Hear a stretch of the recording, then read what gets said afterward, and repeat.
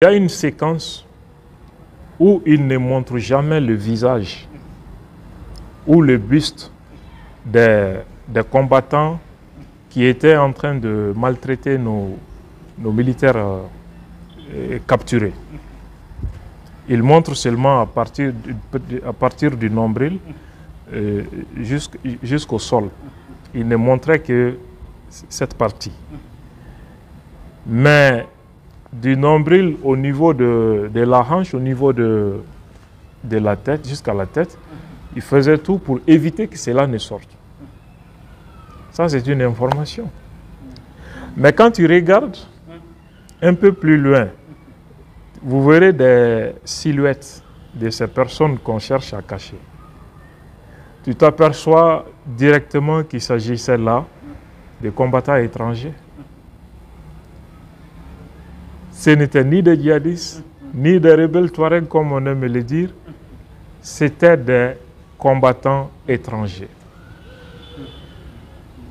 Des éléments d'une autre armée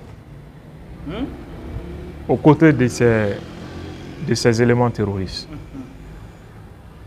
Et ça nous amène à nous poser un certain nombre de questions parce que euh, le commandant de Africom, qui est une force américaine pour, pour, l'Afrique, a quitté l'Algérie il n'y a pas longtemps.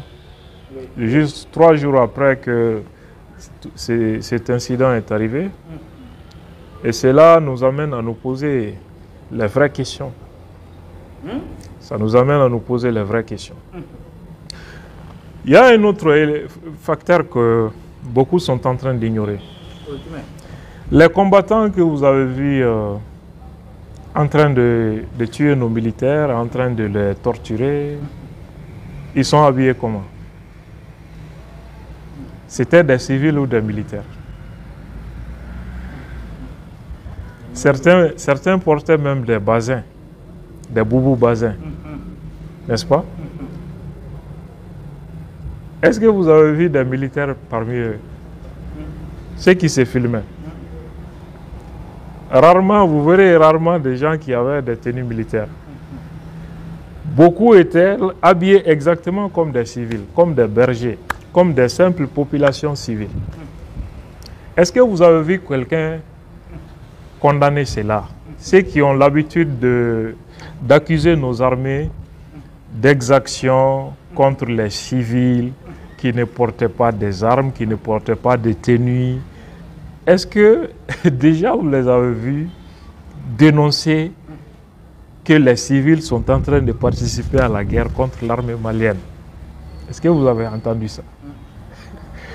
Mais imagine si c'est l'armée qui, avait pris les dessus sur eux. On aurait brandi les corps, habillés en boubou bazin, habillés en t-shirt, comme des simples citoyens comme des victimes innocentes, massacres contre des populations civiles, etc. Mais pourquoi ils ne parlent pas de ça? Est-ce que ce sont ces gens-là que les médias et les ONG et les instances internationales appellent des civils innocents? Il faut se poser la question. Un autre élément, les médias français, comment ils sont en train de traiter cette information? L'armée et ses alliés russes ont subi un revers, ont subi une grosse perte face aux combattants Touareg. Ils refusent de dire que ce sont des terroristes.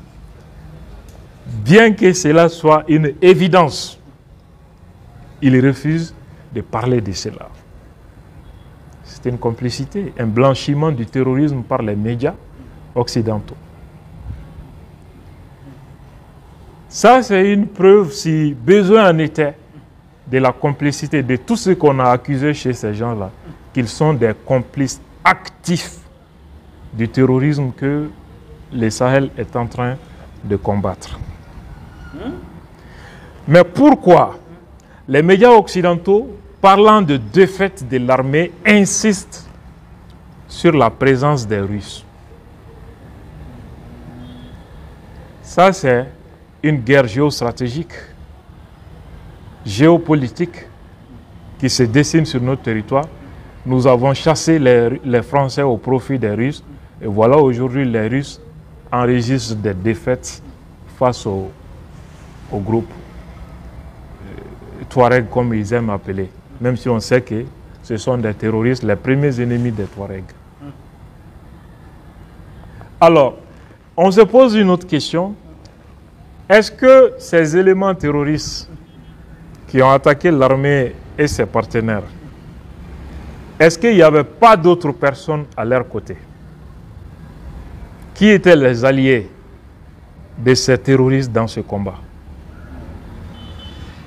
Il ne parle jamais de l'armée de l'Algérie. Il ne parle jamais de l'OTAN aux côtés de ces éléments. Pourquoi? Pourtant, cette complicité est, évidente. Elle est évidente. On ne parle jamais de ça.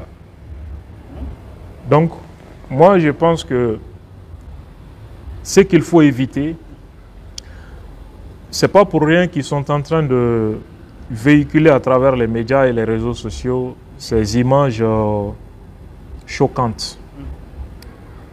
Mais si nous, nous avions publié les images des terroristes sur les réseaux sociaux, Facebook, Twitter, tu aurais vu que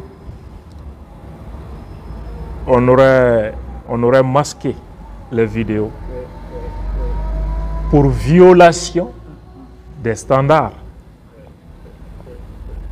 Si c'est nous qui avions posté les victimes de ces groupes terroristes on aurait masqué